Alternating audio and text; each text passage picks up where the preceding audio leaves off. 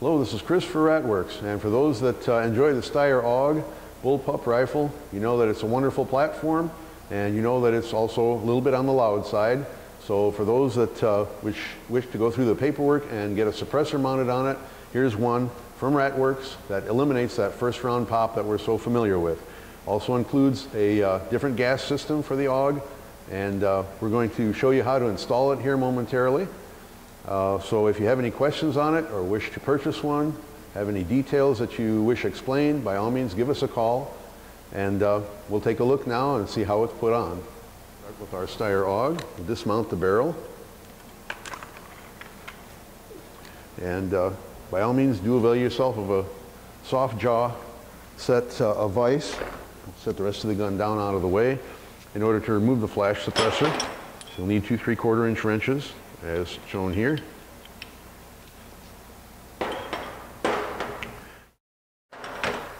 And a uh, barrel vise with soft jaws.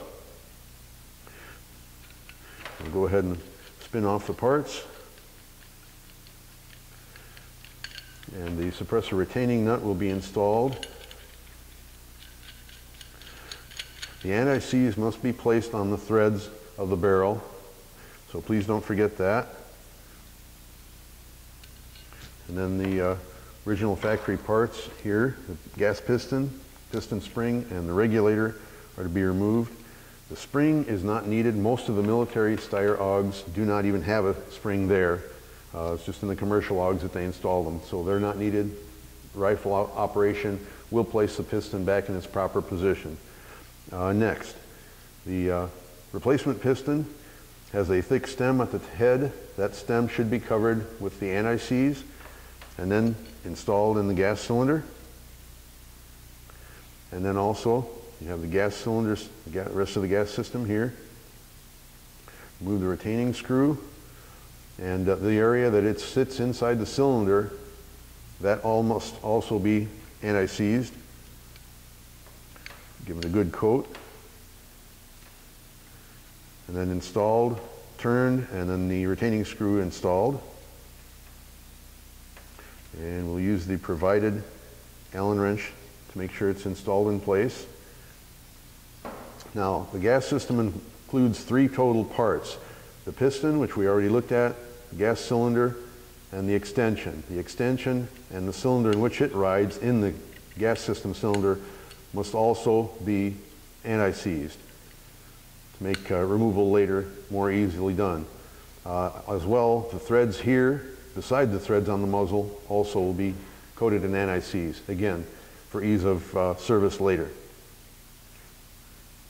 Then install the uh, suppressor. It threads right onto the barrel.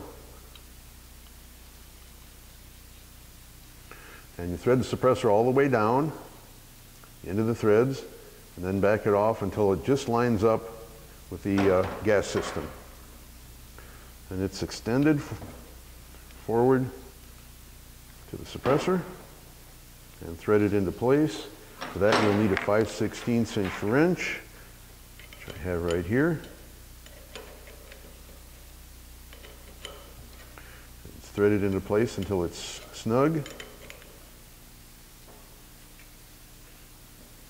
And there your uh, suppressor is installed and ready to take to the range and shoot with the exception of the retaining nut, which also must be snugged down. Again, that same three-quarter inch wrench that you used to replace the return, move the flash hider is used for snugging that uh, lock nut in place. And we are now ready to shoot. So if you have any questions or any comments, by all means give us a call. If there's any problem, give us a ring, 815-734-7346 and we'll be glad to help you. Or if you're interested in purchasing one of the suppressors, by all means, do give us a call. And we look forward to hearing from you. Thank you much for watching.